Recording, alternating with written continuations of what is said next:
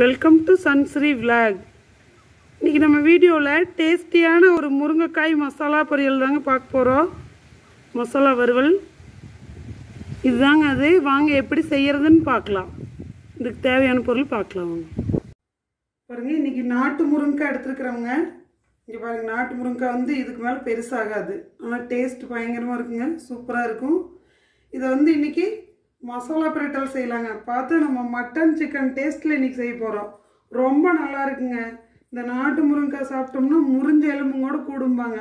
இந்த மாதிரி இன்றைக்கி நம்ம டேஸ்டியாக அதை செய்ய போகிறோம் அதுக்கு தேவையான பொருள் பார்த்திங்கன்னா முருங்கைக்காய் வந்து ஆஹ், கழுவி சுத்தப்படுத்தி கட் பண்ணி வச்சுருக்கிறேன். தேங்காய் ஒரு மூடி எடுத்துருக்குறேங்க. கொஞ்சமாக சோம்பு கசகசா எடுத்துருக்குறேன். அதை ரெண்டையும் அரைச்சிக்கலாங்க. சின்ன வெங்காயம் எடுத்துருக்குறேங்க. சின்ன வெங்காயம் வந்து ஒரு நூறு கிராமுக்கு எடுத்துருக்குறேன். தக்காளி ரெண்டு கட் பண்ணி வச்சுருக்கிறேன். ரெண்டு காஞ்ச மிளகாய் தாளித்து விடுறக்கு பூண்டு ஒரு நாலஞ்சு பல் அதுவும் தாளித்து விடுறதுக்கு தாங்க ஒரு இனுக்கு கருவேப்பிலை. மல்லி எடுத்துருக்குறேங்க மல்லித்தூள். மல்லித்தூள் வந்து ரெண்டு ஸ்பூன் எடுத்துருக்கிறேன். மிளகாத்தூள் உங்களுக்கு காரத்துக்கு தகுந்த மாதிரி எடுத்துக்கங்க. நான் ஒரு ஸ்பூன் எடுத்துருக்கிறேன். மஞ்சள் தூள் எடுத்துருக்குறேங்க. உப்பு எடுத்துருக்குறேங்க தேவையான அளவு.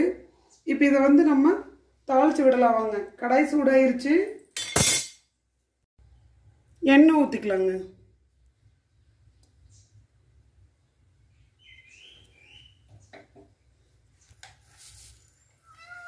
பாருங்க எண்ணெய் சூடாயிடுச்சு கடுகு சேர்த்துக்கலாங்க. கடுகு பொரியட்டுங்க.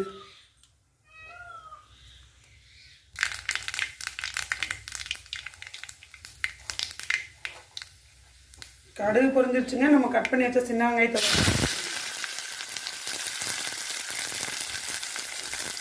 பூண்டும் சேர்த்துக்கலாங்க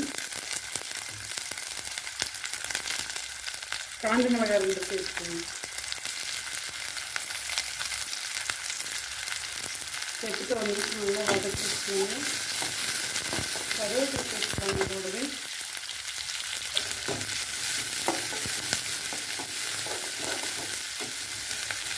வெங்காயம் வந்து வதங்கட்டும் தக்காளி சேர்த்துக்கலாங்க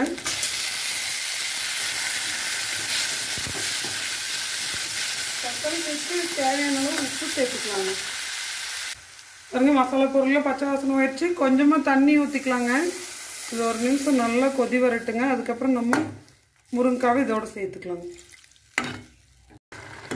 பாருங்க மசாலா வந்து கொதிச்சு நல்லா பச்சை வாசனை ஆயிடுச்சுங்க. இதோட நம்ம முருங்காய் வந்து இதோட சேர்த்துக்கலாங்க.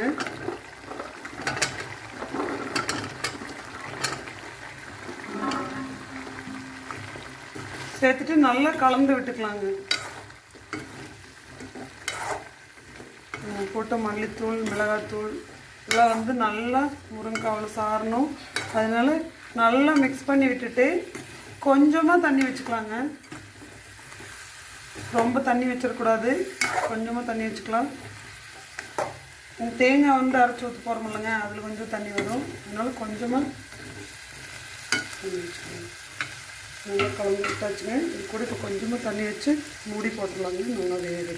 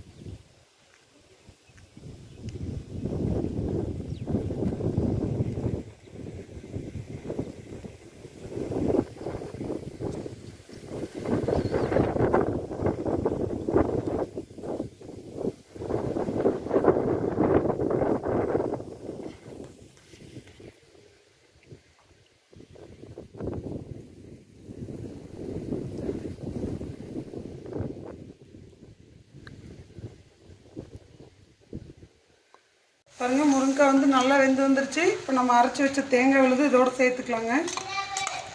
தேங்காய் விழுது சேர்த்து ஒரு நிமிஷம் நல்லா வதக்கி விட்டு பச்சை வாசனை போனால் இறக்கிக்கலாங்க. பாருங்க சூப்பராக ஊற்றுன தேங்காய் விழு நல்லா வெந்து பச்சை வாசனை போயிடுச்சுங்க. ரொம்ப ரொம்ப வாசனையாக இருக்குது. நான் இதே ஸ்டேஜ்க்கே எடுத்துகிட்டு போகிறேங்க இப்போ வந்து சாப்பாட்டோடு வச்சு சாப்பிட்றதுக்கு இதுதாங்க ரொம்ப நல்லாயிருக்கும் சூப்பராக வந்திருக்குங்க. பாருங்கள் மல்லியில தூவி இப்போ இறக்கலாங்க.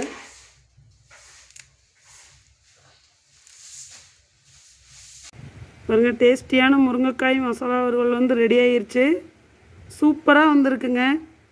இது வந்து நாட்டு முருங்கைக்காயில் செஞ்சது. ரொம்ப செம சூப்பராக வந்திருக்கு.